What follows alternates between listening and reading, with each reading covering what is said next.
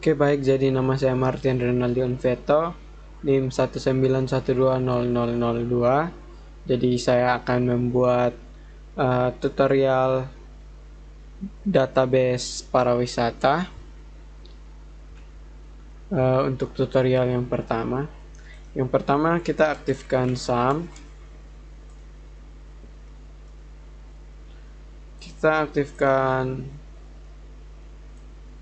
Oke, okay kita aktifkan yang pertama tuh Apache dan MySQL kemudian kita close. Lalu selanjutnya kita buka Chrome. Uh, kita ketikkan localhost php myadmin jika muncul seperti ini tinggal kita enter. Oke okay. selanjutnya uh, di sini kita akan membuat database. Jadi kita klik new. Kita beri nama databasenya pari wisata oke kemudian kita create. Uh, di sini untuk jumlah tabelnya kita beri 7 lalu di sini kita beri nama tabel admin kemudian kita go oke selanjutnya uh,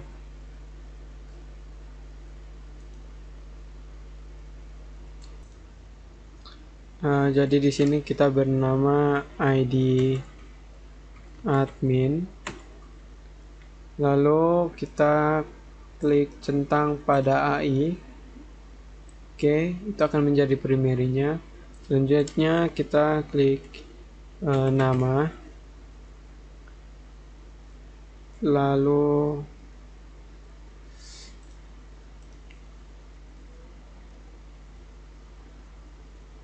uh, alamat. Selanjutnya telepon. Email username dan sandi. Oke. Okay. untuk nama kita beri tipenya teks alamat juga teks nomor telepon kita beri teks. Uh, email kita beri teks username juga teks. Uh, untuk sandi juga kita beri teks. Oke, kemudian kita save. Nah, selanjutnya kita akan membuat uh, tabel baru namanya tabel kategori uh, kategori objek wisata.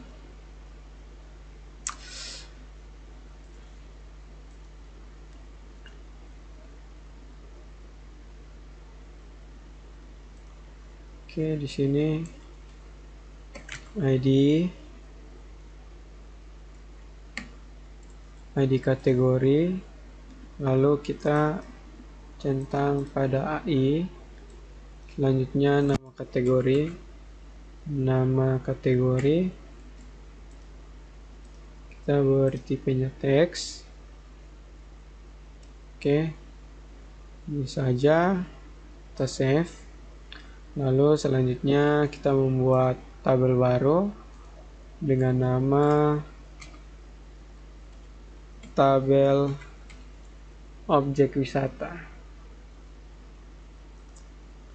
Oke tabel objek wisata ini kita beri ID objek wisata. Kita centang pada AI oke kemudian ID kategori kategori selanjutnya nama lalu deskripsi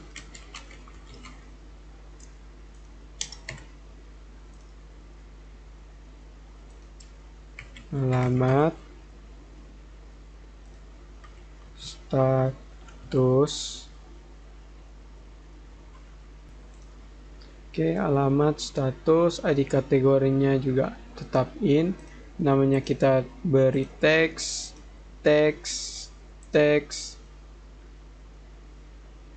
Eh, lalu status kita beri char. Statusnya char satu. Oke. Kemudian kita save. Oke, selanjutnya kita membuat tabel baru namanya tabel testimoni. Nah, dalam tabel testimoni ini uh, kita bernama ID testimoni. Lalu kita centang pada AI. Selanjutnya tanggal lalu wisatawan. Uh, eh, ID wisatawan. Lalu selanjutnya judul. Uh, kita tambah dua judul. Lalu deskripsi. Status Oke, untuk tanggal kita pakai tipenya date, ID wisatawan tetap in, lalu judul kita beri teks, uh, deskripsi teks dan status juga kita beri teks. Kemudian kita save. Oke, selanjutnya kita membuat lagi tabel. Uh, tabel wisatawan. Nah, tabel wisatawan ini uh,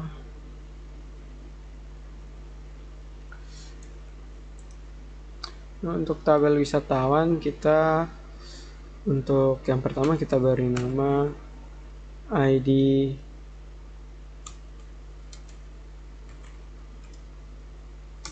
ID wisatawan Oke, yang kedua kita bernama nama wisatawan. Yang ketiga jenis kelamin. Yang keenam, eh, yang keempat telepon. Kita tambah dua lagi.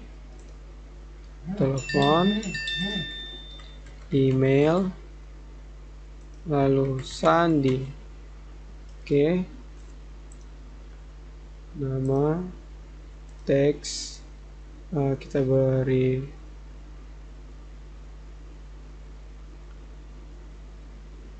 uh, varchar 9 lalu kemudian kita beri teks email teks dan sandinya juga teks. Oke selanjutnya kita save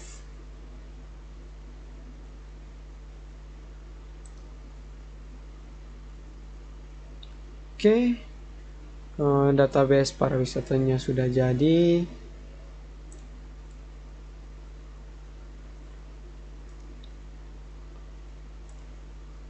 oke okay.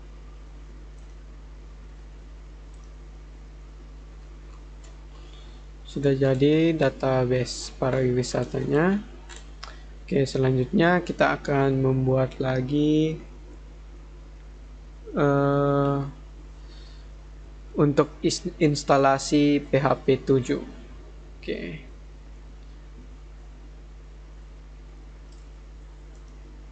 Oke, untuk instalasi PHP 7 uh, pertama kita download dulu PHP kita klik eh, kita ketik di sini PHP net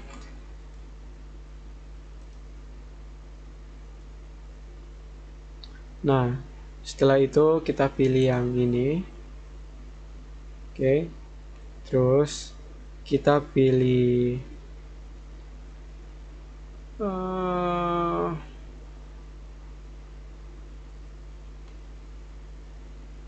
sebentar sebentar. PHP 7 PHP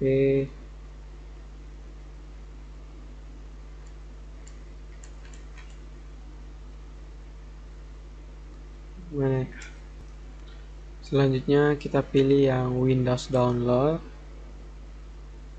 Oke di sini kita akan memilih sesuai dengan uh, spesifikasi pada komputer kita. Jadi spesifikasi saya komputer saya itu 64 bit. Jadi selanjutnya itu downloadnya di sini. Kita download yang ini. Oke. Karena saya sudah download maka saya tinggal pasangkan uh, PHP nya instalasi PHP 7 nya nah, ada di sini nah ini instalasi PHP 7 nya setelah itu kita ekstrak. Kita ekstrak kemudian kita copy. Kita copy kita taruh pada folder examnya. Karena folder exam saya di E maka saya taruhnya di E kemudian letakkan di htdocs kemudian kita copy paste oke kita copy paste di sini.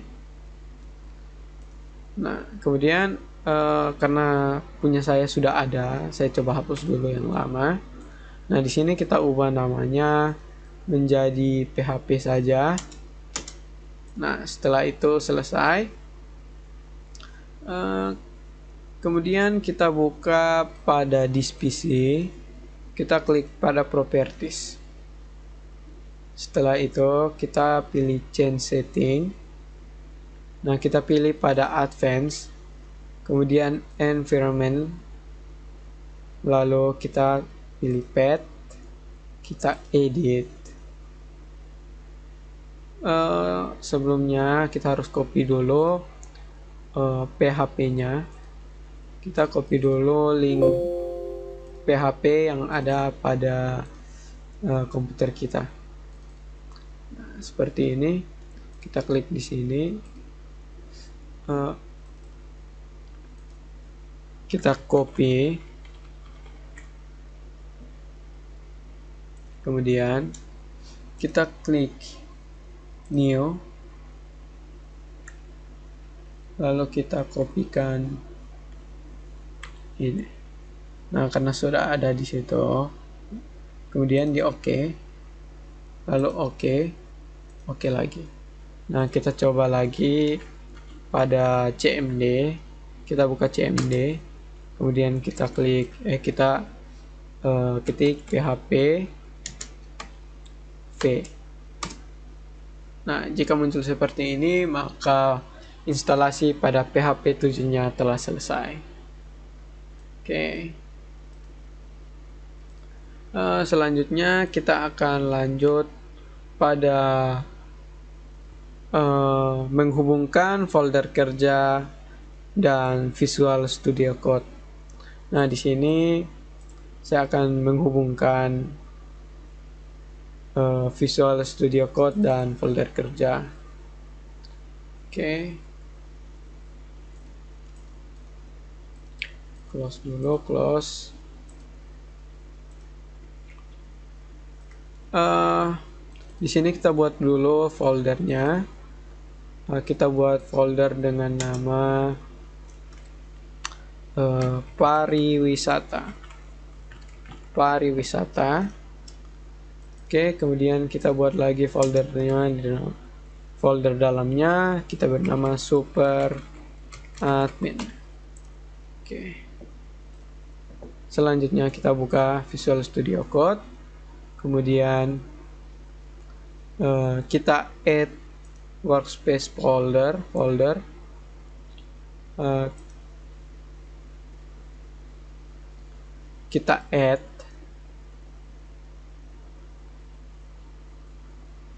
Uh, sebentar.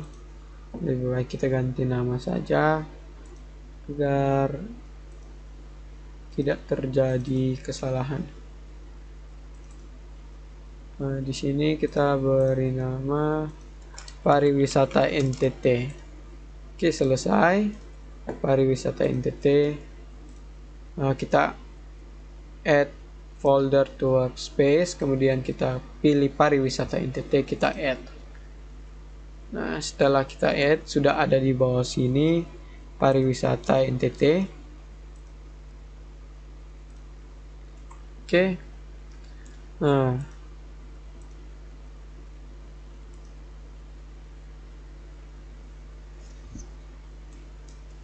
uh, dengan begini kita telah kita telah selesai menghubungkan uh, folder kerja dan Visual Studio Code. Oke. Okay. Uh, selanjutnya kita akan membuat uh, satu satu file di dalamnya. Kita klik di sini di new file. Kita beri nama index php ingat folder uh, file ini berada di dalam super admin kemudian kita uh, klik enter. Oke. Okay. seperti ini. Uh, selanjutnya kita akan membuat uh, kita akan membuat navbar. Kita lihat dari referensi W3 School. Kemudian kita pilih bot maaf kita pilih bootstrap kemudian uh, kita pilih navbars kita pilih navbar oke selanjutnya itu kita uh, kita pilih collapsing the navbar atau apa ya? Hmm atau sticky navbar atau yang mana ya?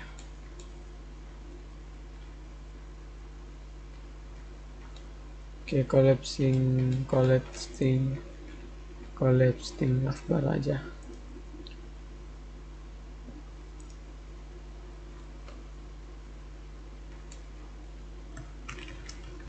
Kontrol A kemudian kontrol kita kontrol C. Kontrol C. Kemudian kita copy paste di dalamnya. Seperti ini. Oke. Di sini kita tambahkan ini beranda. Oke kedua kita beri nama uh, admin admin selanjutnya kita beri nama uh, kategori. Oh iya jadi ini harus sesuai dengan database yang telah kita buat. Kita akan ikut database yang telah kita buat ini. Oke. Okay. kita copy pastekan saja yang ini. Oke. okay seperti ini. Kita copy pastikan kategori. Setelah kategori wis wisatawan.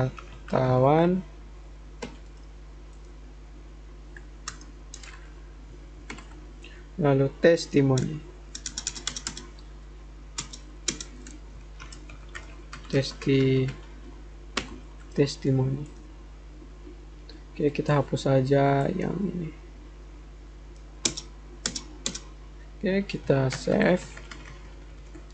Kita save, lalu kita beri nama uh, pariwisata wisata NTT. Kita save, kemudian kita coba jalankan localhost uh, pariwisata wisata NTT dan kita super. Super admin. Nah seperti ini.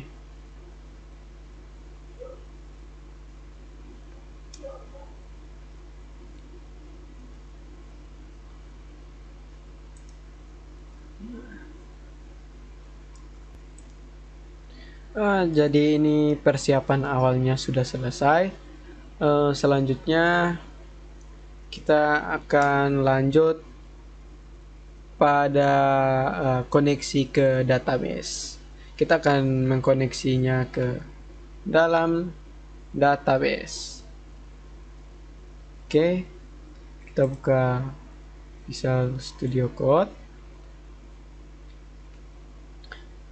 Uh, kita masuk ke dalam super admin kemudian kita buat file dengan nama uh, konektor konektor .php. Kemudian kita enter. Nah setelah itu uh, kita akan menggunakan script script yang ini. Oke okay kita copy saja script yang ini kemudian kita copy oke okay. localhost nama data nama database nah ini databasenya kita beri nama uh, pariwisata entity oke okay. kemudian kita save Nah, ini uh, listing untuk kita connect database-nya. Oke, kita akan coba untuk uh, mencoba apakah jadi atau tidak. Konektor PHP.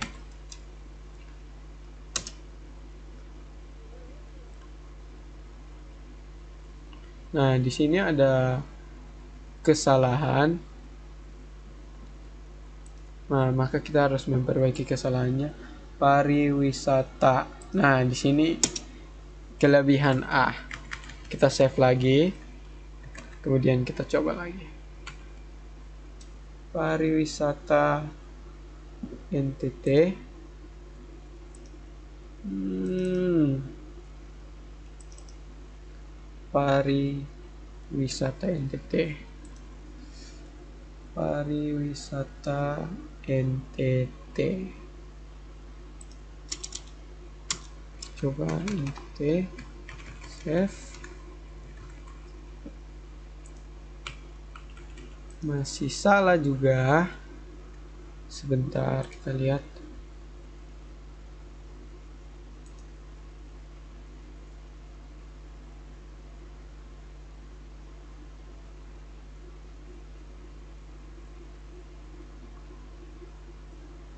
Nikon dari Wisa ah hmm, hmm, hmm. Pariwisata. Pariwisata. Sudah benar tadi itu. Lihat lagi NTT NTT pariwisata NTT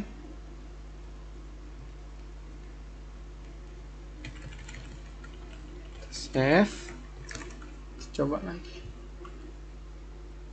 pariwisata oh, masih salah juga. Uh, ah. Sorry.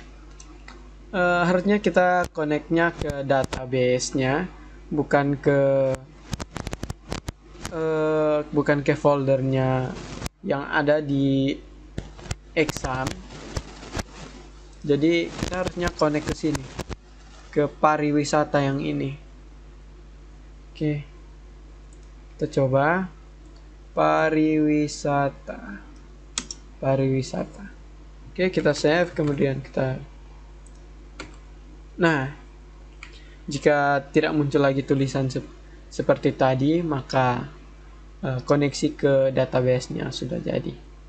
Oke, selanjutnya kita akan membuat uh, kita akan membuat fitur login, log login dan membuat fitur logout. Oke. oke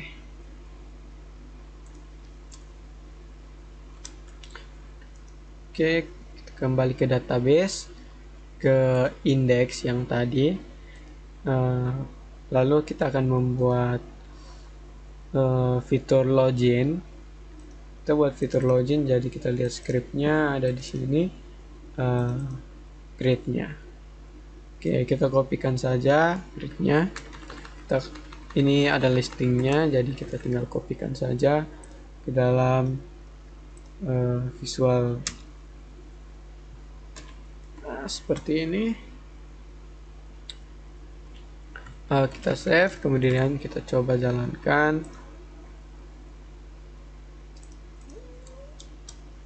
Oke, kita jalankan yang ini. Nah, seperti ini. Uh, kita hapus saja yang ini. Kita hapus ini. Ini kita hapus.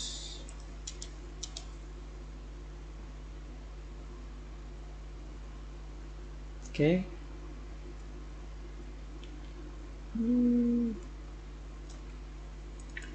Oke, jadi selanjutnya itu uh, yang kita perlukan itu adalah kita copy, eh kita hapus konten ini, kita hapus saja. Oke, ini. Oke, kemudian kita save, lalu kita tes jalan. Nah, seperti ini konten. Uh,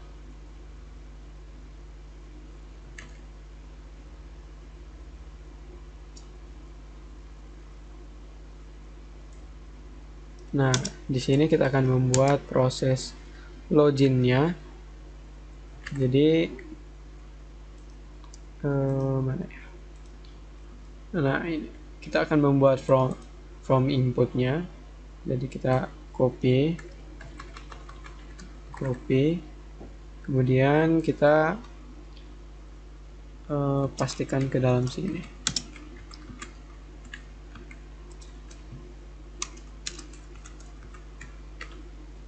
kita save kemudian kita coba jalankan. Nah seperti ini. Nah untuk loginnya sudah jadi. Uh,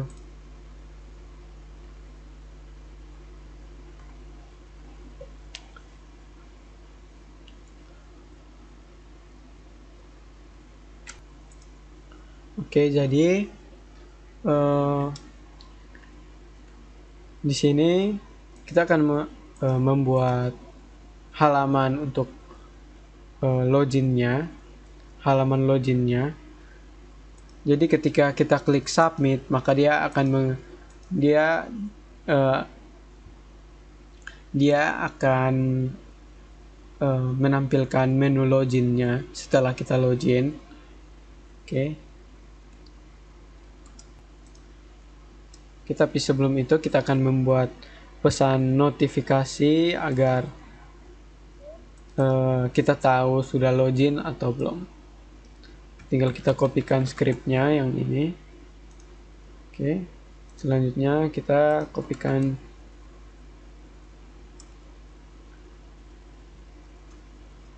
nah kita kopikan di sini ya seperti ini listingnya save.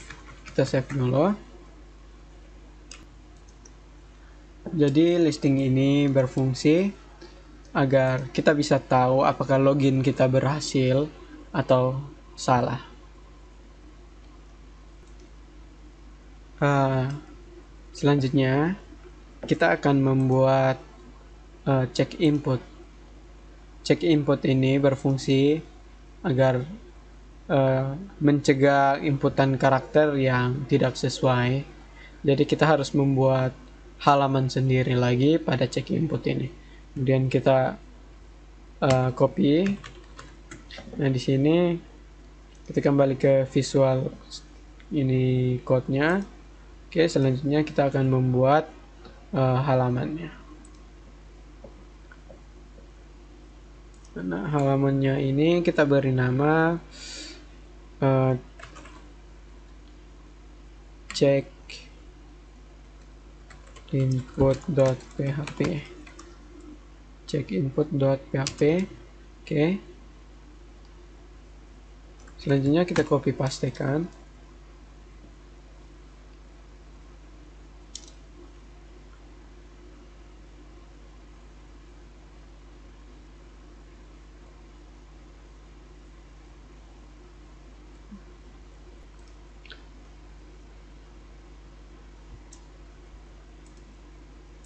Oke, jadi kita akan kembali pada sini ke indeksnya. Oke. Untuk formnya sudah, pesan notifikasinya sudah. Nah, selanjutnya kita akan membuat lagi cek login. Nah, di sini kita akan membuat halaman cek login dengan menggunakan script yang telah disiapkan. Oke. Nah, yang ini kita copy. Kemudian kita buat uh, halaman baru di sini super admin. Kita beri nama uh, apa ya? Cek login php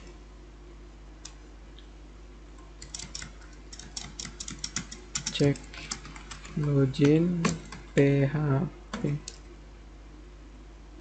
nah kita kopikan di sini.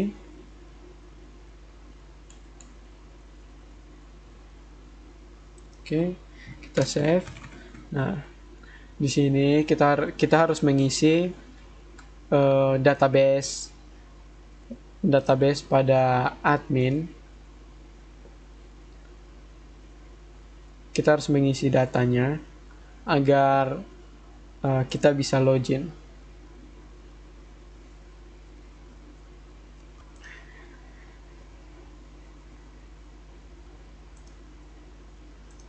Oke, jadi kita akan mencoba untuk login. Kita coba login seperti ini 1 2 3 4 5 6 7 8 kalau ah ah.